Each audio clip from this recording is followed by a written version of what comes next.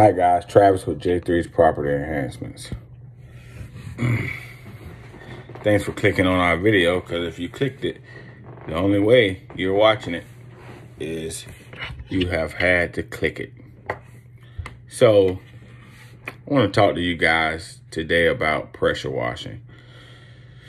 The reasons why and the process of.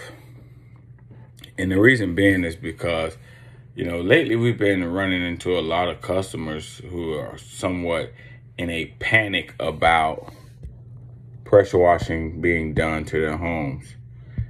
And main the main questions are is it going to bust my seals? Uh, are you going to tear paint off my house? And when they ask those questions, when our customers ask those questions, first of all, we realize that they're a first time customer, but I can tell that there has been some pressure washing before us that wasn't done properly. So the proper way to pressure wash a house is to saturate the home with the chemical that you're going to use first. Allow the, the chemical to sit on the home, react, the chemical that we use is chlorine, which is 12% hydrochloride versus bleach is 6. So chlorine is a much stronger chemical and it's it's it's more natural than a mixture of chemicals that are put together to make bleach. So we saturate the house and we allow it to the chemicals to react. Then we aggressively rinse your home. Therefore, you don't have to worry about um, paint getting knocked off or your windows having cracked seals and things of that nature. So you get a bright finish without all of the panic. Now, pressure washing is known for the outcome of a home. It looks beautiful. Uh, the white is bright. The, the paint looks great etc., etc., if done properly. There are some companies that just pressure wash with no chemical. They pressure wash with pressure only. And that is what causes customers to have that mindset after the job is done because they, you know, looking at their windows and trying to figure out why is the condensation between the panes and you look at your, your paint and you see the, the, the peeling of the paint because whatever company knocked the paint off with too much PSI. PSI should only be, well, PSI should only be high when doing concrete. What's more important than PSI is gallons per minute. So that's on the commercial side, really not on the, the, the consumer side. But with the proper guidance per minute, you are able to get a certain PSI that makes the job quicker on concrete. But you don't need a lot of PSI when you are pressure washing a house, walls, exterior walls, because you should have a setup to where your chemical is doing the work and you aggressively rinse. Then everything is protected and you know you have a happy customer who will refer you and, re- and repeat business with you, which is what we all want to do. Now, the reason for pressure washing is preventive care because a stucco home or any type of siding or whatever your home is is made of gets into a panic, so to say, when things are on the home that shouldn't be. Moisture builds up and stays, and if the sun is not properly drying it and it's not cycling, you know, get moisture, dry up, it tends to start, especially in Florida. We're located in Jacksonville, Florida. So it tends to start allowing the process for mold or mildew to oh, make a home on the wall of your home. And what that mold and mildew does, it deprives the paint of what it needs and it starts to take the pigments of the paint out of the paint itself. That's why when you see a home and it's like lighter than it, if it's pink, it's light pink. If it was a red home, it's a light red, which many people aren't paying, uh, painting their homes those two colors, but brown or, or whatever the color is, you can tell it's like, oh, it's lighter. The paint is losing its life. So you could walk up to a, a home and wipe your hand across it, and if it's white, though that's letting you know that the paint is breaking down. And one of the things that causes that is the mold and the mildew on the paint itself.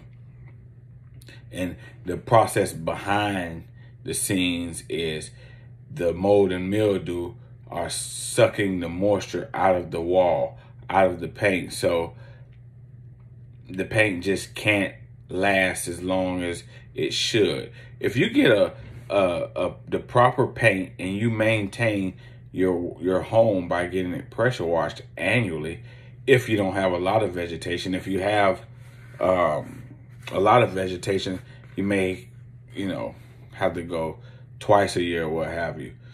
But um, annually is is a is a good time to get your pressure your your, your house washed. Um, so a paint should last 15, 20 years. The proper process, pressure wash, prep, and paint, which we do. And then after the fact, pressure washing once a year. So, you know, they're coming out with all these different types of coatings and they're guaranteeing them for all of this time. But the the the base of all of that is you don't need to go pay twenty thousand dollars, fifteen thousand dollars for for a certain type of coating to paint your house. You can get the regular paint and maintain it and get the same life for about 14 uh 16 14,000 dollars cheaper. Uh, you know, average paint you're running about $3 a square foot, so you know, $4,000 house, uh, I'm sorry, 4,000 square foot home or, you know, 2,000, 2,500. Yeah, you're looking at about $6,000, between three and $6,000, depending on the exterior of a house.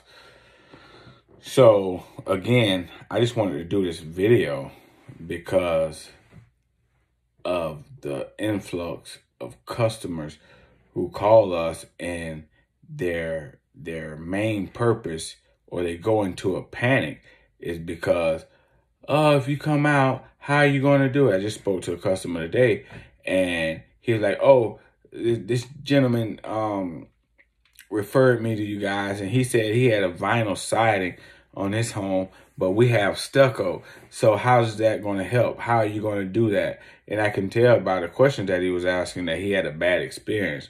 So I explained to him, sir, the biggest misunderstanding of pressure washing is pressure.